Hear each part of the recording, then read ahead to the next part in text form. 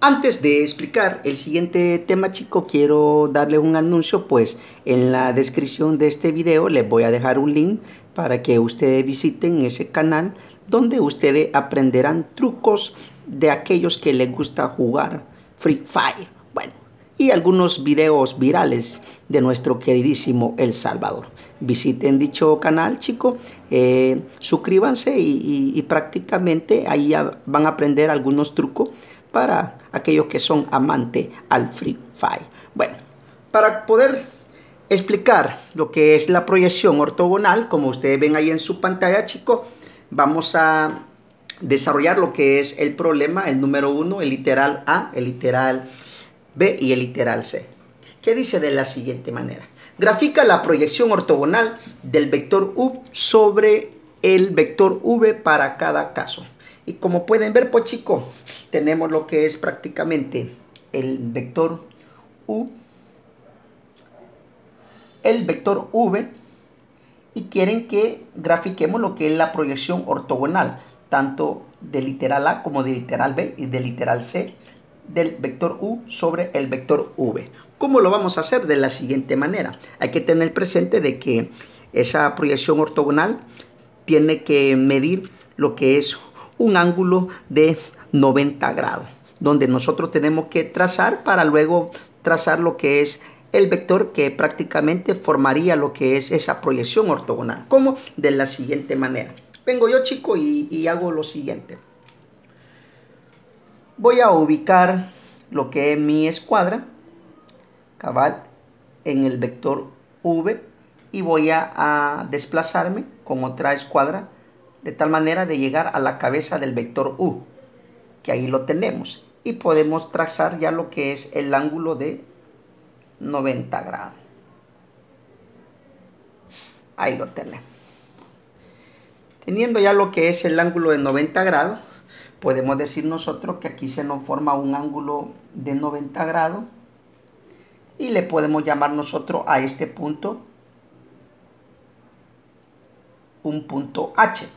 Entonces, ¿qué significa eso? Si nos decía gráfica la proyección ortogonal del vector U sobre el vector V, que es desde aquí hasta acá, entonces su proyección ortogonal va a quedar de la siguiente manera. Desde el punto O hasta el punto H. No perdamos de vista que el punto O es prácticamente el punto donde inicia tanto el vector U como el vector V. ¿Estamos claros? Y teniendo ya eso trazado, podemos decir nosotros que este sería lo que es la cabeza del vector de la proyección ortogonal, que decía que trazáramos del vector U sobre el vector V. Entonces dicha proyección nos va a quedar representado como vector de la siguiente manera. El vector O, H, de esta forma. Ahí van a disculpar chicos que ya no me pintan mi plumón. Bueno, lo vamos a hacer con otro color, mi asistente, ¿qué te parece? Y así no queda ya lo que es el vector de la proyección ortogonal del vector U sobre el vector V para cada caso. Ahora, continuando con la explicación, vamos a ir con el literal B y como podemos ver en el literal B, tenemos el vector V a la izquierda y el vector U inclinado a la derecha, hacia arriba. Entonces, ¿cómo podemos hacer para formar lo que es un ángulo de 90 grados y graficar lo que es la proyección ortogonal? De la siguiente manera venimos nosotros y con una escuadra vamos a, a trazar un segmento desde el punto O, que es el punto de inicio tanto del vector U como del vector V, y lo vamos a trazar hacia la derecha de tal manera de llegar hasta la cabeza del vector U. Hasta ahí. Teniendo ya ese segmento con otra escuadra, voy a trazar lo que es un ángulo de 90 grados Ahí lo tenemos, chicos.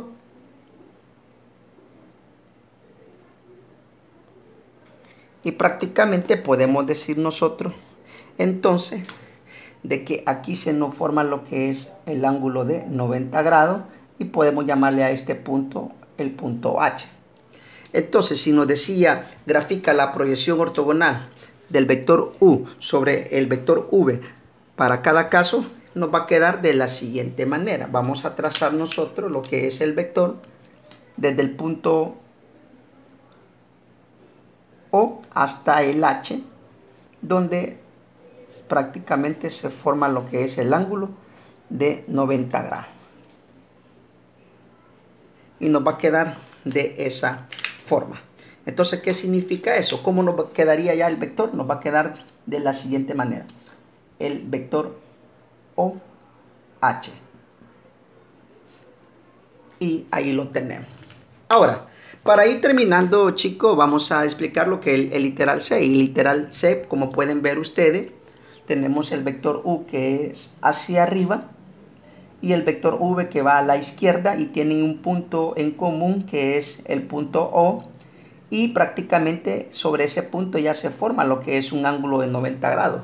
¿Qué significa eso? Eso significa de que si nosotros ubicamos aquí en este punto, el punto H, entonces, ¿cómo nos quedaría prácticamente la gráfica, la proyección ortogonal del vector U sobre el vector V para cada caso si aquí ya tenemos lo que es el ángulo de 90 grados sobre el punto O. Bueno, nos va a quedar de la siguiente manera. El vector O, O, y eso a qué va a ser igual. Esto va a ser igual a que nosotros digamos que, a que nosotros digamos el vector 0. Y prácticamente esa sería la respuesta del literal C, o sea, la gráfica, la proyección ortogonal del vector U sobre el vector V para el caso del literal C. Bueno, si te gustó el video, dale like, compártelo y si todavía no estás suscrito a mi canal de YouTube, te invito a que te suscribas. Dios te bendiga y buena suerte con tus ejercicios. Chao.